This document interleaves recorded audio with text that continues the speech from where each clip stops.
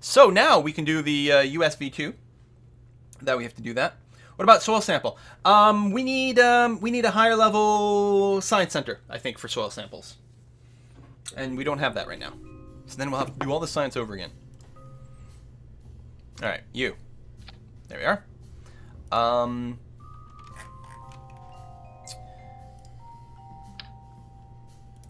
one, two. Oh, we need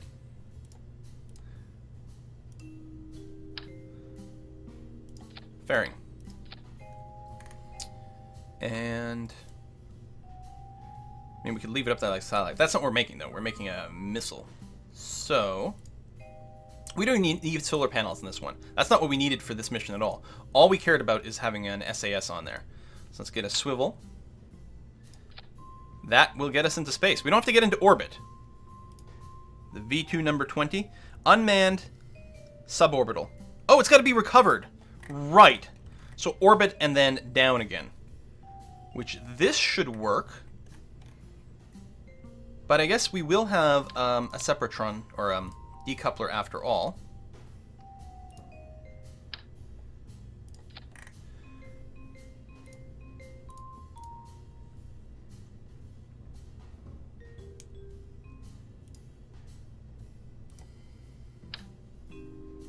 Parachute. I'll go ahead and put a couple of solar panels. Actually, I guess all the solar panels can be on this core. That's fine. The, the solar panels won't work until we pop the, uh, the um, this words, um, the the fairings, but that's all right.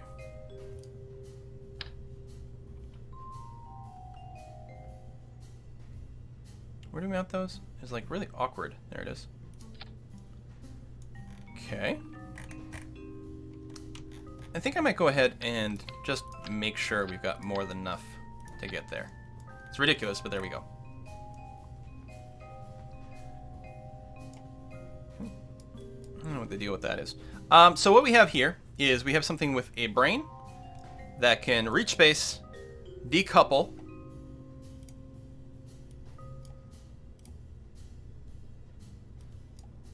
and then land back safely. Doesn't have a heat shield. Probably want a heat shield, don't we?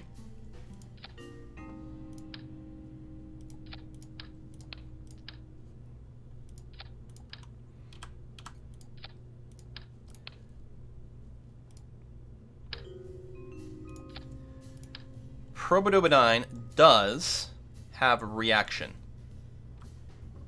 So it can steer. It'll have the solar panel stuff. Then it's got the parachute. One parachute's going to be more than enough. This is going to be a very light thing. Heat shield. Those. Uh, no real experiments. We could throw in a couple of battery packs just to be safe. Adds a little bit of weight and certainly a little bit more cost up front. Actually, why don't I go ahead and use this version of it?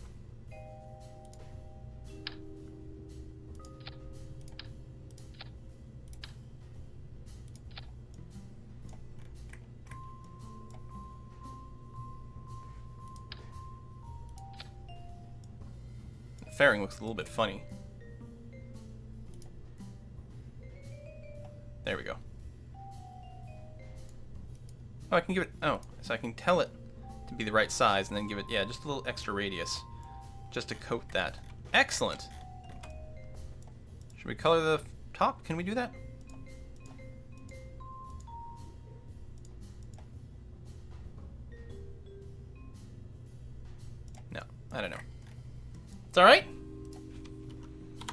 The uh, mission called? Um, oh, it should be called the Blossom Dash 1 or like that. I mean, I don't think the name, I don't think they care about the name. Unmanned, Kerbin, suborbital, go. Uh, put some fins on there. Maybe the Delta Deluxe. They look pretty cool. They do have some control surfaces. I mean, we got a gimbaling engine, which should be fine. It just has to go suborbital and come down. That's more than enough Delta V to hit space. I think we're okay, yeah?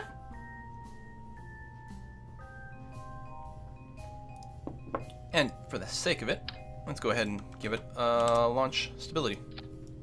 Here, right at the bottom. Boom. I think that's okay.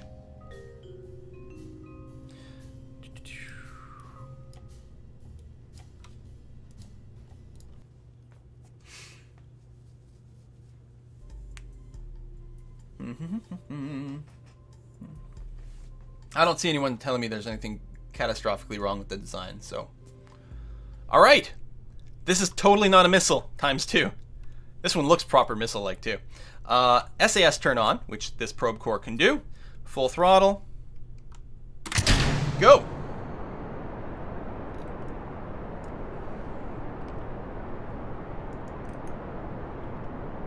Throttle back a bit.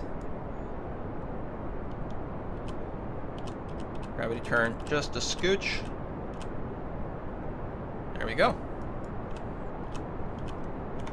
Throttle back a bit more. There we are. And we'll still probably go um, supersonic, like in relatively thick atmosphere here.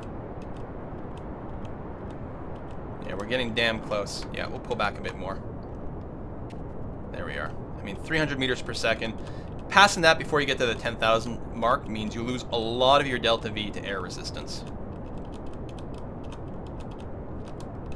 Gravity turn's looking a lot better. Everything's feeling very stable and manageable. It helps that we have a gimbaling engine on a relatively short design, plus these fins do give us some extra control. Okay, I think we're high enough we're going to be able to throttle all the way up now. We are supersonic, but the air is nice and thin. Traveling above Mach 1, I should say. Closing in on Mach 2. 45 degrees at 15 kilometers is about where I target. We are basically there. Um, and I think at this point, I'm just going to keep going up at basically 45 degrees. Oh, maybe throttle back a little bit. Because I need to make sure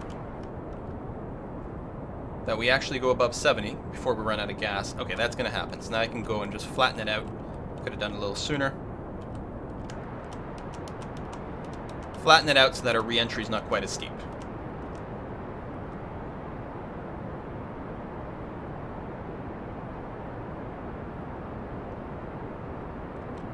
And that's it for the fuel. Ooh.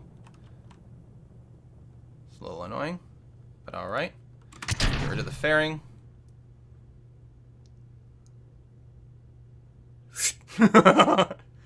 and get rid of the bottom.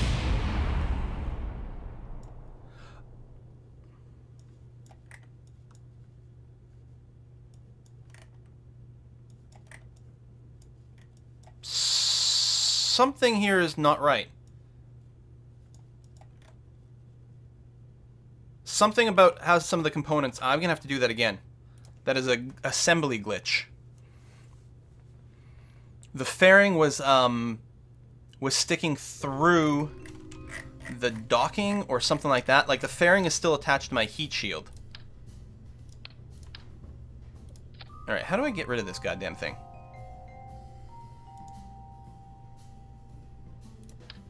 There we go. You, go away. Okay. The fairing... There we go. The fairing was attached to the heat shield somehow. So now I think the fairing is attached to the coupling. That's annoying. Alright. You reattach. Oh, in symmetry mode, please. Well, everything about the design clearly worked, except for the fact that there's a weird, weird construction glitch. I mean, it doesn't make sense that one part was going through the other one. But that's what it was. You gotta be careful, especially with the heat shields, because the way it bulges out, sometimes things can snap oddly. And any, any thin component, it can be, you can discover that you've attached something to something sort of through it in a way that wasn't expected, which is exactly what happened there. Okay, that's looking better.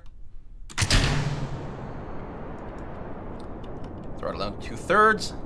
Still getting plenty of speed gain.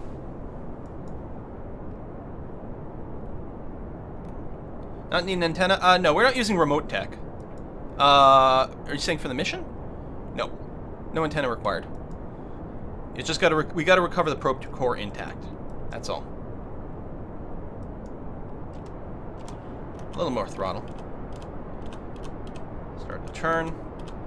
Just trying to keep it within the yellow circle.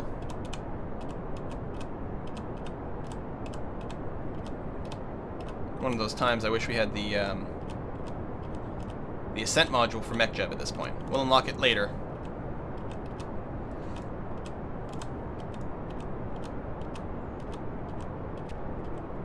Uh, looks like we're right on schedule with our turn.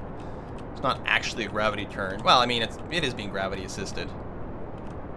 Mostly mimicking the path of the gravity turn I would like to do with a little bit of manual loving. Speed is still increasing at a pretty good rate without having any air or heat effects. I'm a little bit happier about this. We're hitting our 45 degree here just about the time we're crossing the 15 kilometer, which seems to be a really nice kind of target. And then, yeah, keep drifting down. Now, at this point, yeah, the time to apoapsis is continuing to climb, so we can probably pitch down a wee bit more. It's continuing to climb, so we're pushing the apoapsis a little higher and higher. Um, I'm going to throttle back a little bit more.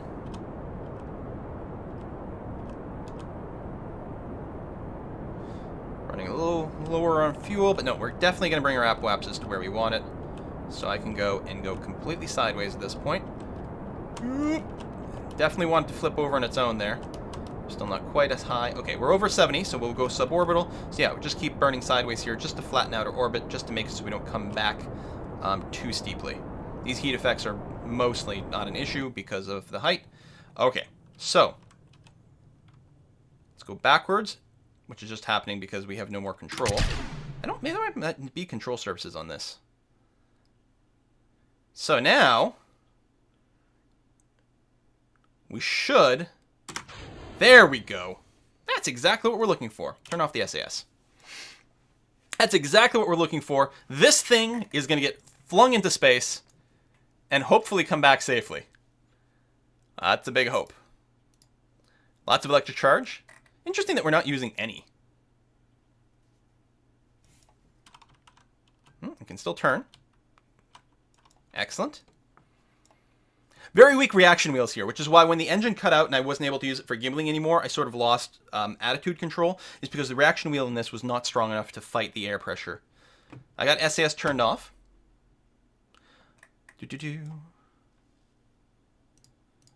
Oh, will I be able to get telemetry? Is that not a thing? Maybe it's Remote Tech that added telemetry as a science source for this. Or SETI or something. I thought it might have been D-Magic, but apparently not. It's probably Remote Tech. I like to be able to get science from just the probe core. Looks lovely, though, spinning over here. Doesn't it? Little shiny bits. Oh yeah, we're not losing electric charge because I got solar panels. My god, solar panels, you guys! What's up with that? Alright, quick save. Time warp. Okay, and for the sake of sanity, so what I'm going to be doing, right, is with SAS doing this and then tweaking it on the way down. It should be really easy to, uh, to, to steer um, especially given its size. We've got infinite power with the solar panels. For the sake of sanity, I will tell the smart ASS to just keep us going surface retrograde.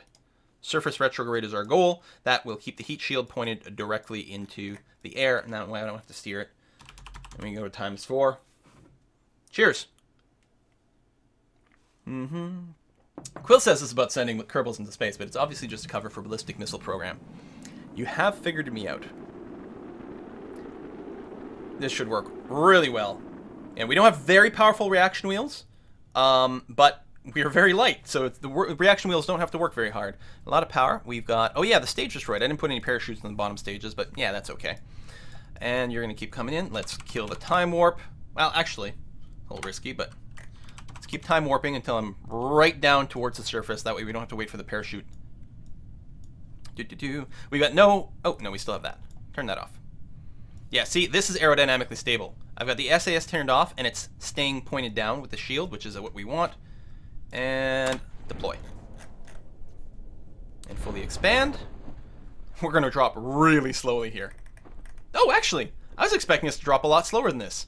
Probe core must be heavier than I give it credit for.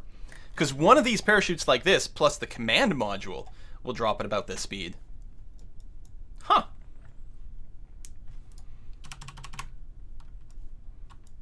Still going at times 4 time warp.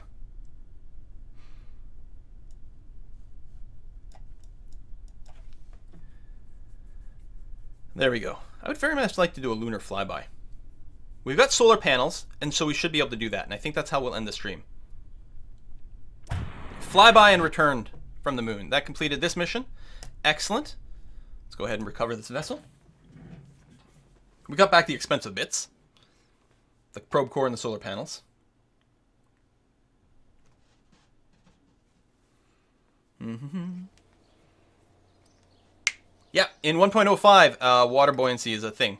And you can float. You can make boats. You can make planes land on water. People make aircraft carriers. It's very exciting. Um, but next one would be the Soviet Union's R2A, which would be an unmanned suborbital that reaches at least uh, 150,000 for more money. Um, we will take it. Oh, science data from around Kerbin. That's a nice free one. We'll do that. And we've got the fly by the moon mission. So that'll be the next thing. We're going to fly by the moon, and then that will wrap up our um, Kerbal stream for today. But that's going to be at least another half hour, if not another hour. So hold on to your uh, space suits, to your space pants. It'd be nice if we could do a lunar flyby with a trio of people, wouldn't it? As opposed to just one person. That would add difficulty. Lunar Moth 1. We're going to keep a, a bug theme Right, Moon or Moth. Uh, so, command pod. Crew cabin.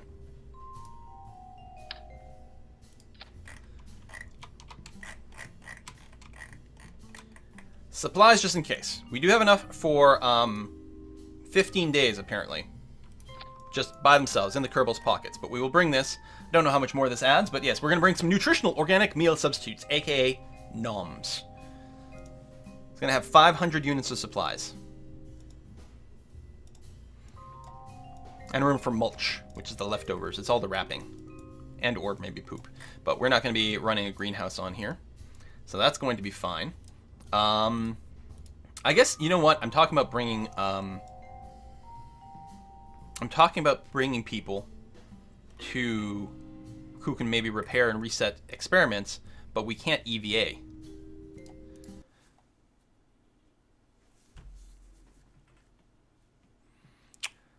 So how are we gonna? Do we have the money for it? Just no, we don't.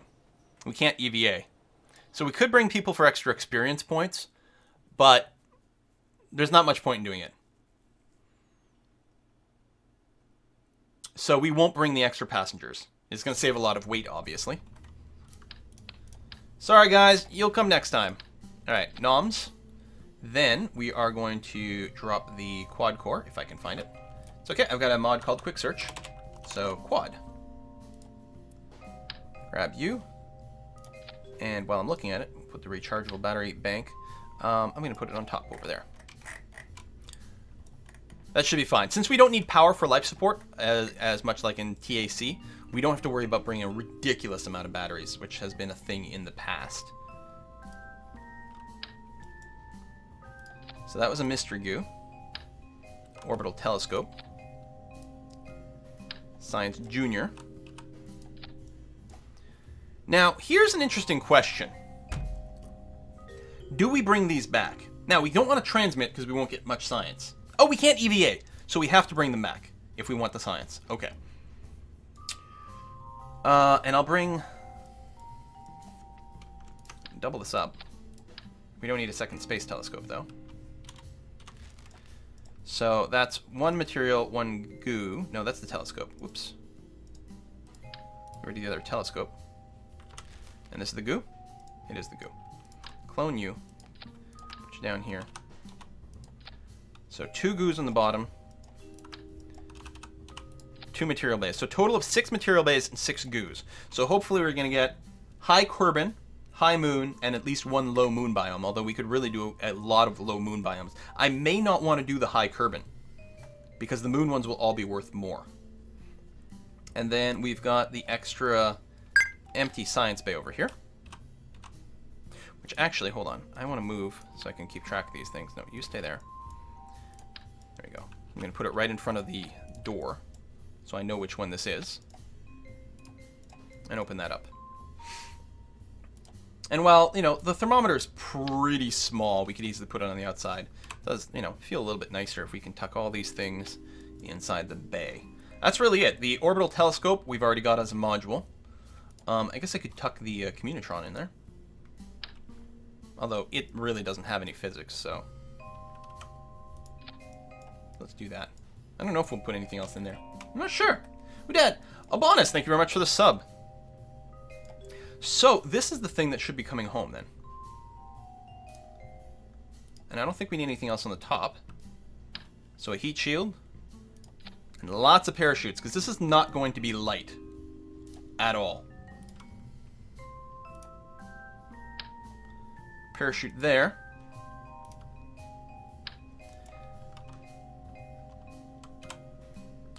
Pair of parachutes and another pair of parachutes. Way overkill, but there's no such thing as too much overkill. I don't think we need more reaction wheels up here. That's going to be perfectly fine. Alright, so now we just have to get this bad boy into space. It's not going to need a fairing, so that's nice. We don't have to worry about weird things happening like last time. Grab our stack decoupler. And for the very first time, we're going to use the Terrier engine. This thing here is it's light. It's a third the weight of the other engines, and it's very efficient in space. Very efficient in space. That's 1400 delta V by it is by itself, which should be enough to cause us to leave Kerbin orbit. This is going to be a trans-Munar injection stage. Should be enough to leave Kerbin orbit, get to the moon, wrap around it, and come back in some fashion. Hopefully.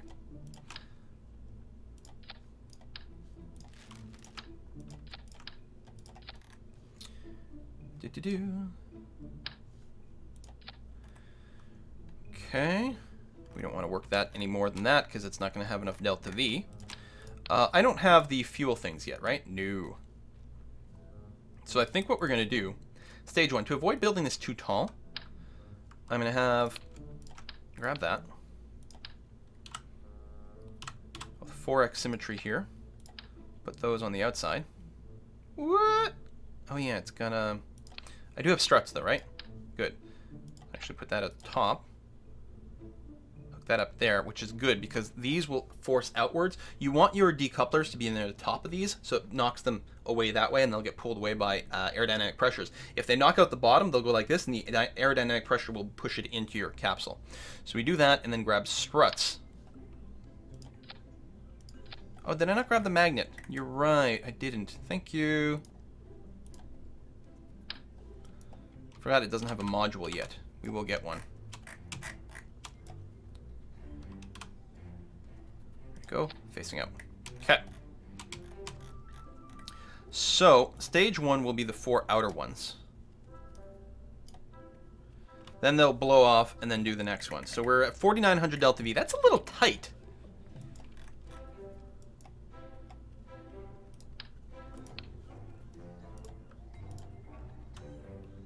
But we have a lot of uh, thrust to weight ratio with those fours. So we should be able to add an extra, there we go, 5,300. That should be more than enough, as long as I don't screw up any of the, as long as I don't uh, screw up the takeoff too badly and end up being too inefficient. That should be pretty good. With the amount of gimbling going on here, I don't think we need any fins. Uh, maybe on the middle there. No, because the first layer's got 2600 delta V. We're going to be very high by the time we eject these guys. Um, we actually are probably already going to be on a, um, like a suborbital. So I don't think we're going to need any control fins on that layer either. We don't have much in the way of reaction wheels, but we've got lots of gimbling on that first stage. think that'll be plenty. Uh, we need to get our solar panels going.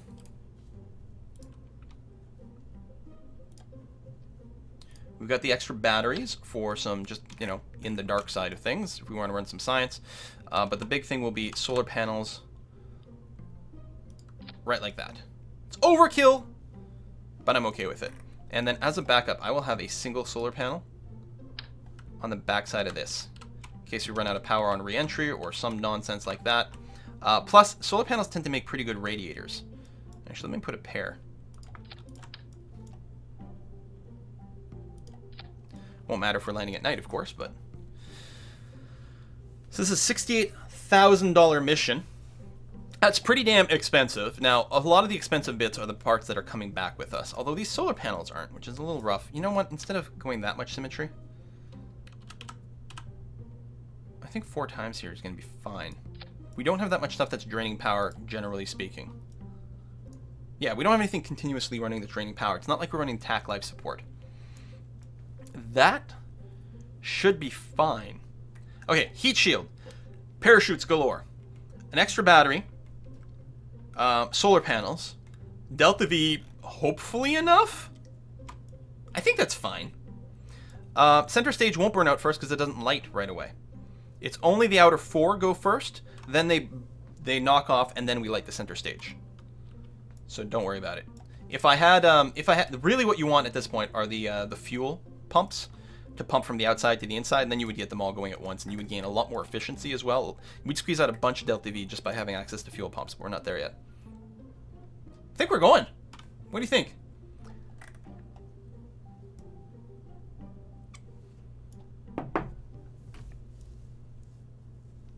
Get the antenna.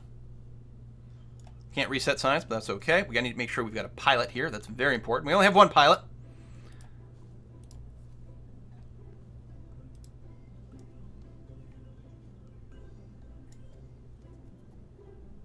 Check decouplers at stage one.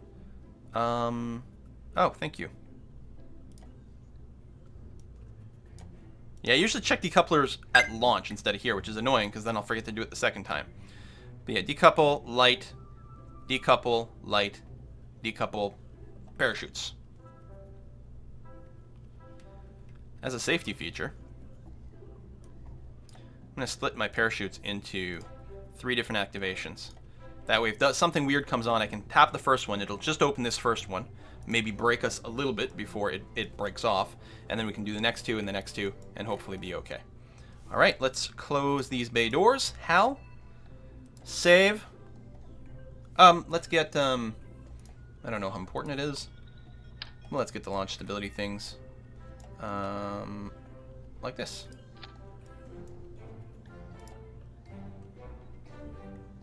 Solar panel capsule itself, it's got it's got hair on the back. So it won't catch every orientation, but it'll it'll be okay. Da, da, da, oh, you tweeted that chocolate video to, to Fatzer. I was saying phaser, but apparently it's pronounced more like Fatzer. Fatzer, something like that. F-A-Z-E-R, the Finnish chocolate company. Although apparently some of the products I was eating were maybe originally Swedish, a Swedish company, but they've all like, they've been merged. Everyone's the same now. All right, SAS turn on, full throttle. Let's go to the moon, boys. Well, let's fly by the moon.